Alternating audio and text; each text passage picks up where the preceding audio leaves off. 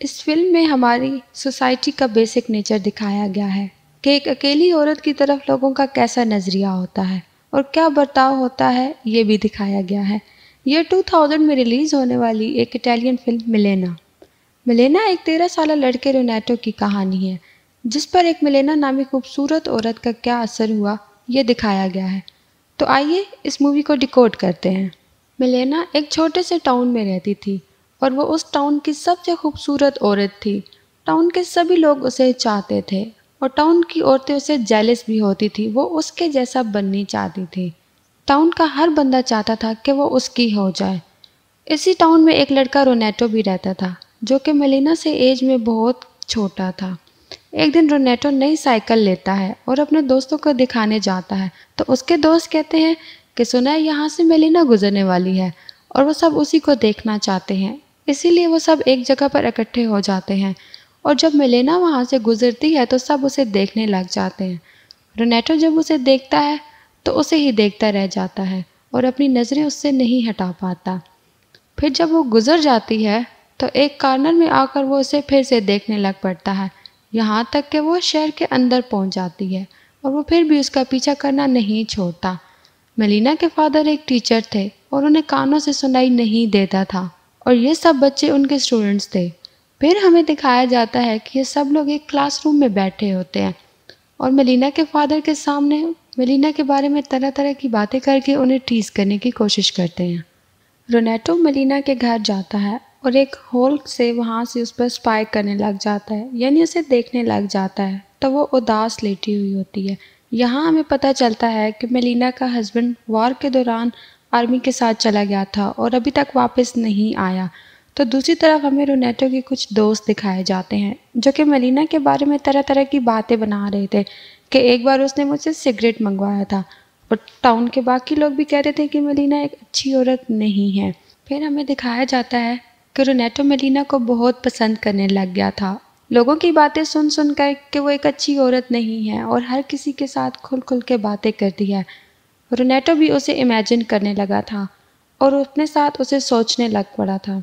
वो था तो एक टीनेजर लेकिन रहना बड़े लोगों की तरह चाहता था। इसलिए उसने अपने फादर की पैंट कटवा कर खुद पहन ली थी, क्योंकि अब उसे शॉर्ट्स में शर्म आती थी। इस बात को लेकर उसके फादर उस पर बहुत ज़्यादा गुस्सा हुए और कई बार उसे मार भी पड़ी। लेकिन रोनेटो फिर भी बाज ना आया और उसने दिन रात बड़े लोगों की तरह मरीना का पीछा करना शुरू कर दिया। वो एक होल से उसको देखा करता था और मलीना को इस बात का बिल्कुल भी पता नहीं था कि कोई उस पर नज़र रखे हुए। फिर अचानक एक दिन मलीना को खबर मिलती है कि उसका शोहर वार में मारा गया है, जिसको सुनकर वो बहुत ज़्यादा परेशान हो जाती है और लेट कर रोने लग पड़ती है। और यहाँ पर हमें ये पता चलता है कि उसे अपने शोहर से वाकई बहुत ज़्यादा मोहब्बत थी और जब उसे पता चला कि उसका शोहर अब इस दुनिया में नहीं रहा तो उसका इंतज़ार अब टूट चुका था। ये सुनकर, वो ये सोचते हुए, अब ये कि ये इस घर में रहकर अब क्या करेगी? तो वो अपने फादर के घर शिफ्ट हो जाती है। एक दिन रोनेटो एक जगह पर काम कर रहा होता है तो वो सुनता है कि कुछ लोग मेलिना के बारे में बहुत बैड वर्ड्स यूज़ कर रहे हैं। वो सोच रहा है कि मेलिना की सच्चाई तो सिर्फ़ मैं ही जानता हूँ, और मुझे ये सबको बताना पड़ेगा कि वो एक बुरी औरत नहीं है, और वाकई अपने शोर से बहुत प्यार करती थी। रोनेटो उसे खिड़की से देखता है और इमेजिन करने लगता है कि जैसे वो उसके पास आ गया हो। और वो उसे कहता है कि परेशान मत हो, मैं तुम्हारे साथ हूँ। बस तुम मुझे कुछ साल दो ताकि मैं बड़ा हो जाऊँ।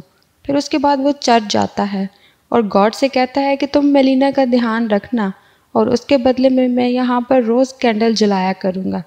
फिर एक दिन मेलिना के फादर को एक लेटर मिलता है, जिस पर यह लिखा था कि मेलिना का टाउन के हर आदमी के साथ एक अफेयर चल रहा है। और तुम्हारी बेटी एक अच्छी औरत नहीं है। ये सुनते ही बहुत ज़्यादा गुस्से में आ जाता है और मलिना को अपनी बेटी मानने से इनकार करते हुए वो उसे घर से जाने के लिए कहता है। मलिना एक बार फिर से काफ़ी अकेली रह जाती है। रोनेटो को जब इस बात का पता चलता है कि मलिना फिर से अकेली रहने लग पड़ी है तो वो फिर से उसे रोज़ आकर देखने लग पड़ता है। फिर जब एक रात वो मलिना के घर जाता है तो वो होल से देखता है कि उसके घर एक पुलिस ऑफिसर है। और कुछ ऐसा लग रहा है कि वाकई में उन दोनों का कोई अफेयर चल रहा है। रोनेटो को ये देखकर बहुत बुरा लगता है। वो सोचता है कि मैंने तो इसे एक अच्छी औरत समझा था और मैं तो दूसरों को भी बताने वाला था कि ये एक अच्छी औरत है। उसे अपनी आँखों पर यकीन नहीं हो रहा था। फिर वो पुलिस ऑफिसर उसके घर से बाहर आता है और रोनेटो एक कॉर्नर में छुप जाता है। पुलिस ऑफिसर जब बाहर आता है तो उसे एक डॉक्टर मिलता है। और वो कहता है कि, मेलिना तो मेरी फ्योंसी है, तुम अंदर क्या कर रहे थे? इस बात को लेकर वो दोनों बहुत ज़्यादा लड़ते हैं और पुलिस भी फ़ौरन वहाँ पर आ जाती है।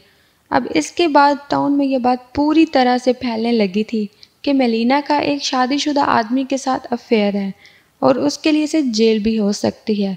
मेलिना काफ़ी परेशान हो जाती है और फिर वो एक लॉयर के पास जाती है और कहती है कि मेरी मदद की जाए। मलिना का लॉयर केस जीत जाता है और यह पता चल जाता है कि डॉक्टर झूठ बोल रहा था।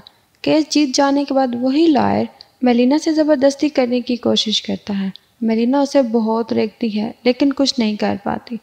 रेनेटो ये सब देख रहा होता है और वो बहुत ज़्यादा परेशान हो जाता है। फिर हमें दिखाया जाता है कि मेलिना के फादर एक सफ़र पर गए हुए थे और उनका प्लेन क्रैश हो जाता है। मलिना को जब ये पता चलता है तो बहुत ज़्यादा दुखी हो जाती है, क्योंकि उसके पास अब कोई नहीं रहा था जो उसकी फेवर में बात कर सके, बोल सके।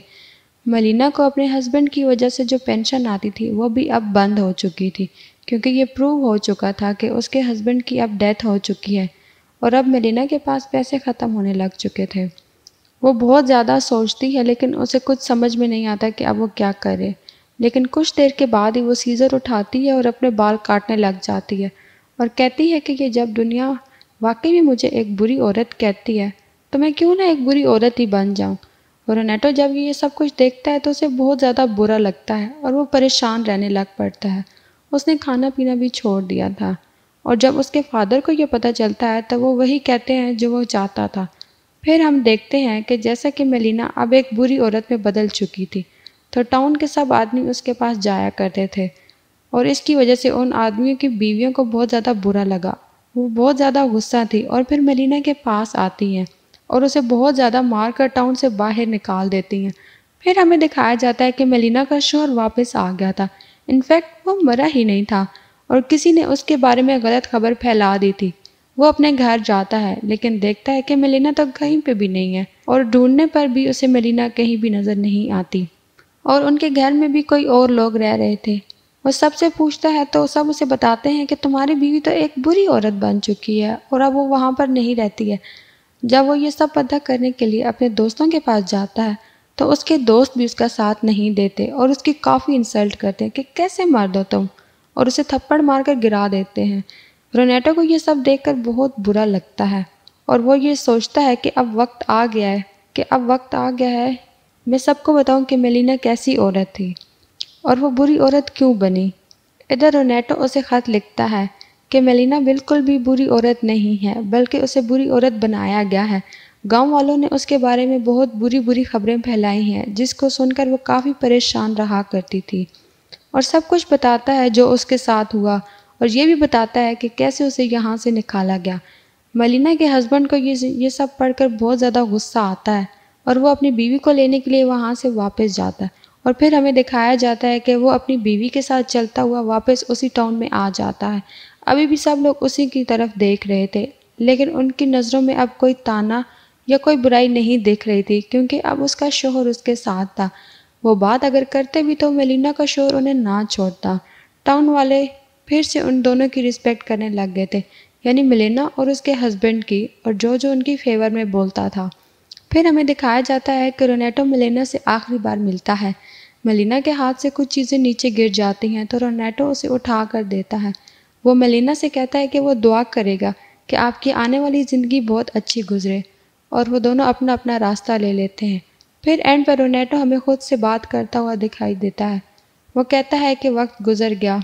मेरा बहुत सी औरतों पर दिल आया। मैंने उन्हें पसंद भी किया। वो मुझसे पूछती थी कि क्या मैं उन्हें याद रखूँगा? तो मैंने हाँ कह दिया। लेकिन वो एक थी, जिसे मैं आज तक नहीं भूला, ना मैं वो भूल सकूँगा, और वो थी मिलेना। और इसी के साथ मूवी एंड हो जाती है। इनफैक्ट इस मूवी में हमें सोसाइटी के बारे में बताया गया है कि अगर किसी जगह पर एक अकेली औरत रहती है तो सोसाइटी उसके बारे में तरह तरह की बातें बनाती है, और ये नहीं सोचती कि उसके दिल पर क्या गुजरेगी और उसकी ज़िंदगी में क्या चल रहा है। किसी के साथ इतनी बातें मत करो कि वो बुरा बनने पर मजबूर हो जाए। Thank you for watching.